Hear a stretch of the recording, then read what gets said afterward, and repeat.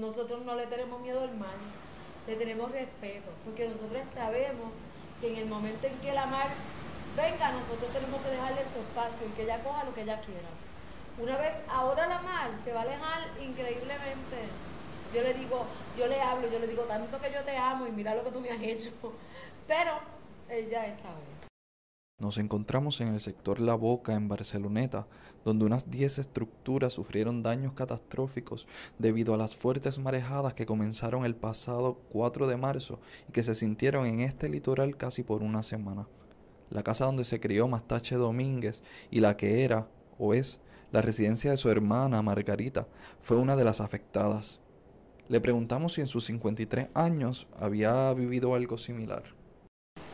Nunca, nunca, nunca este, tanto así que habían unos pozos sépticos y unas letrinas que, estaban detrás de la playa y nosotros las identificábamos. Cada vez que venía una, una, marejada, nosotros decíamos, cuando llegue a la letrina de abuelo, porque quedaban los cimientos de lo que fue la letrina ahí abajo, cuando llegue a la letrina de abuelo, hasta ahí va a llegar.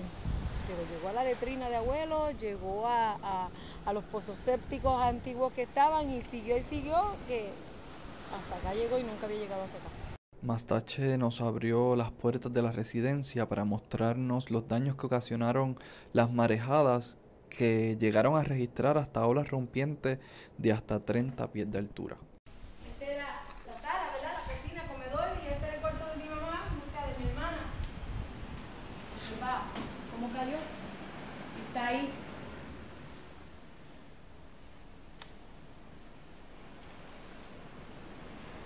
Una cosa yo les aseguro, si mañana nosotros nos dicen, no les vamos a dar nada por la propiedad, lamentablemente pues no, no hay fondo, este, pueden arreglar la casa o hacer lo que quieran con ella, inmediatamente nosotros tratamos de arreglarla y volver a ella.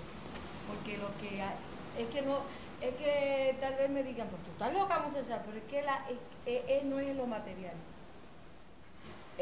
ese pasillo que está ahí el día de mi quinceañero, de una habitación que estaba atrás, que era una habitación de nosotros, ese fue, ahí yo desfilé y aquí fue mi quinceañero, imagínense.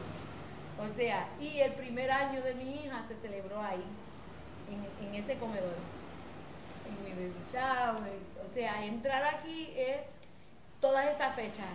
¿Cómo se vive la pérdida de algo tan valioso en el que se mezcla lo material y los recuerdos?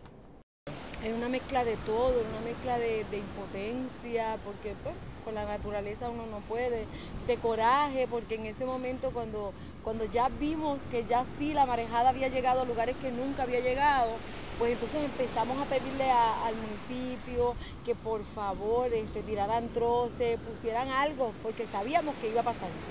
Ya lo que quedaba eran dos pies aproximados de la pared de atrás de la casa a, la playa. Y entonces ya era una tristeza muy grande. Y entonces este pues pero no no no no, no pudieron poner nada. Y la mar se la llevó. En el momento en que la casa cayó yo estoy parada frente a frente al otro lado. Aquí estoy dándole la espalda. Yo estaba parada de frente a ella al lado del poste cuando veo que cayó que colapsó toda la parte de atrás de la casa visitamos a Mastache el pasado 5 de abril un mes luego de las marejadas, pero aún el gobierno los mantenía en un limbo. Estamos esperando respuesta. Yo inclusive estoy tratando de mover a la comunidad. Este, hice una comunicación con la oficina de Jennifer González, funcionada residente. También otra con la oficina del gobernador.